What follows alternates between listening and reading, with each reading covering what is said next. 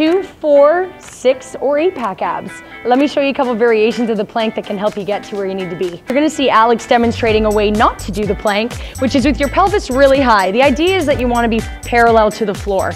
So this is variation one, don't wanna see it in the gym. Second variation of this that I don't wanna see is this dip. Pelvis too low, extension in the back, and we're really, really putting a lot of strain on the shoulders. Alex is gonna come up into the right plank position, nice and perpendicular to the floor here, holding with a nice neutral spine. Another variation that will target more of your obliques will be this variation that Julia has, and it's called a side plank. So you'll see that Julia's elbow is directly underneath the shoulder, and you'll also notice that she's as parallel as she can be to the floor on a nice straight line. You'll never feel unbalanced if your elbow and your ankles are in line with each other. These are a couple variations of the plank. Good luck on getting started.